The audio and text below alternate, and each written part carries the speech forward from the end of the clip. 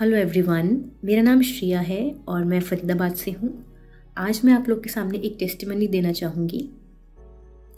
मैं इस चर्च से अभी रिसेंटली ही जुड़ी हूँ सेकेंड जनवरी 2022 मुझे चर्च के बारे में मेरी कलीग ने बताया एंड उन्होंने ही मुझे इंट्रोड्यूस किया। एंड उसके बाद मैं वहाँ पे गई संडे को। एंड मैंने वहाँ पे देखा वर्शिपिंग चल रही थी। And really I feel so blessed कि मैं इस वर्शिप का हिस्सा बनी।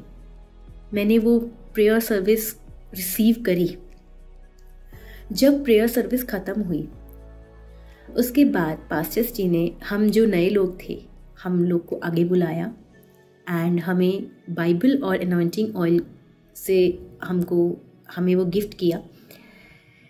फिर उसके बाद आफ्टर फ्यू डेज़ मुझे कुछ हेल्थ uh, इश्यूज़ होने लगे लाइफ कफ कोल्ड काफ़ी बट वो बहुत ज़्यादा सिवियर हो चुके थे जिसकी वजह से मेरे यू नो थ्रॉट में काफ़ी पेन शुरू हो गया था और by profession being a vocal teacher मेरे लिए दैट्स वेरी इंपॉर्टेंट कि मेरा गला ठीक रहे राइट right? तो मैं उससे मतलब uh, ढंग से गा नहीं पा रही थी बोल नहीं पा रही थी तो मैंने ये सब चीज़ें डिस्कस करी अपनी कलीग के साथ एंड उन्होंने मुझे बताया कि like you have to apply that that oil मैंने वो oil with the faith with prayer मैंने वो अपने थ्रॉट में अप्लाई किया एंड उसके बाद like after after an hour और मैंने क्या देखा कि मेरा जो गला है एकदम ठीक हो गया।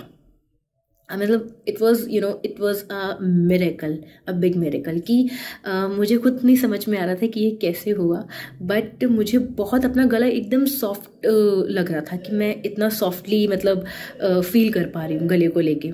So that was an amazing experience जो मैं आपके सामने शेयर कर रही हूँ अभी इस टाइम पे।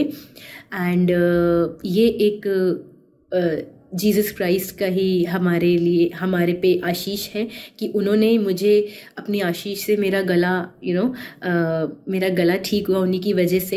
एंड मैं थैंक करना चाहूँगी लॉर्ड जीसस का। एंड मैं थैंक यू करना चाहूँगी पास्टर रति पास्टर हरीश जी का कि वो हमारी लाइफ में आए हमें ब्लेस्ड किया उन्होंने।